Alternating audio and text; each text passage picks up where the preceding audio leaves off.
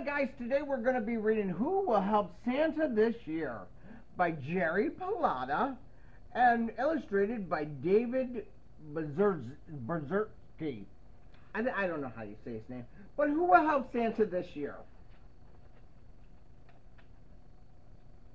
It was too, the job was too big. I couldn't make all the toys.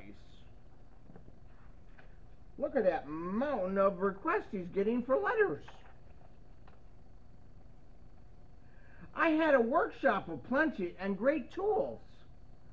It was time to look for some helpers.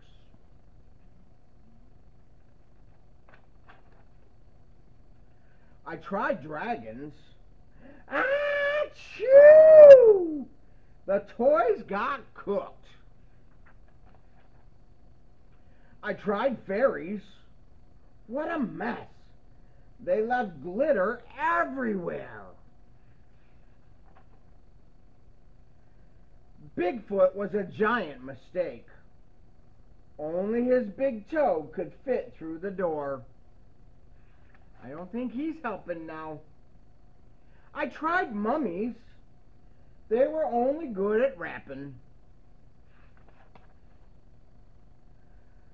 I had some good luck with the leprechauns, but they ran away to chase rainbows. Mm-mm-mm. Who's going to make all those toys?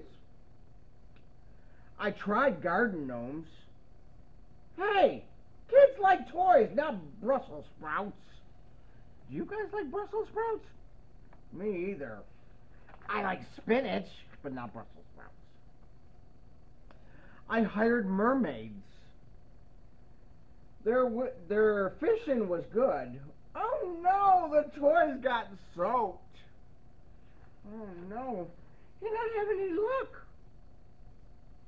Aliens only made spaceships and funny noises. Meep, meep, and they never heard of Christmas. Oh my. I even tried unicorns. Uh-oh. Whose? They couldn't hold the tools. I don't think they can make toys. The wizards wanted to help. Poof! They turned me into a frog. Oh, what, what are we going to do if Santa's turned into a frog? Elves came looking for work. They had great advice. Kiss him, kiss him, kiss him, they said. Ooh, I'm glad it was Mrs. Claus. Poof!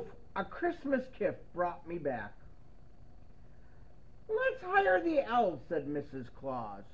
And Mrs. Claus, she's a really smart cookie. Elves were exactly what my workshop needed. They became happy, handy working helpers. Hmm, look at them making all those toys. Now that the toys are made, we can go on vacation. Cowabunga, dude! There's Santa riding a wave. That's a pretty good story, isn't it? I wish I could help Santa. But he only has me watch those reindeer. I don't know. We'll see you soon.